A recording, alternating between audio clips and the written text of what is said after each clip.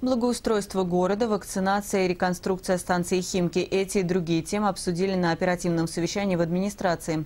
Глава города Олег Шахов распорядился все работы завершить до конца года.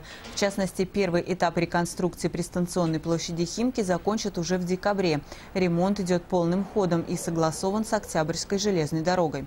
Облик станции изменится до неузнаваемости.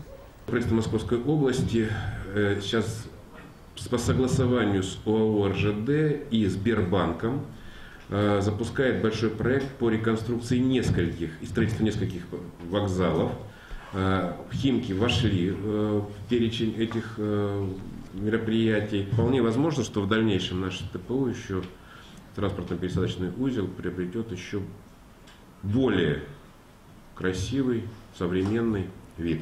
Очень остро стоит вопрос благоустройства округа, особенно в микрорайонах. Граффити на остановках, мусор и остальные проблемы глава города поручил устранить в кратчайшие сроки. Особое внимание гаражно-строительным кооперативам. Я просил, во-первых, руководителей гаражных кооперативов, во-вторых, людей, которые там владеют гаражами, все-таки соблюдать порядок. Да?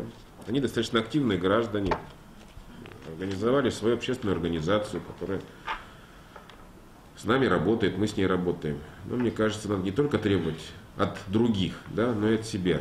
Особое внимание на оперативном совещании Олег Шахов уделил вакцинации. Особенно важным это становится в связи с сезонным ростом заболеваниями гриппом и ОРВИ. Руководителям предприятий и структурных подразделений администрации рекомендовано усилить работу в этом направлении.